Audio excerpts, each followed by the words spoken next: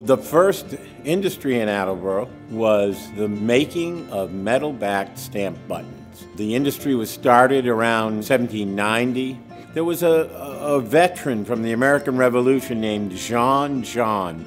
They nicknamed him the Frenchman. We got a timeline in there and the different iterations of companies that made stamp buttons. The buttons we have range from the 1840s to the 1940s.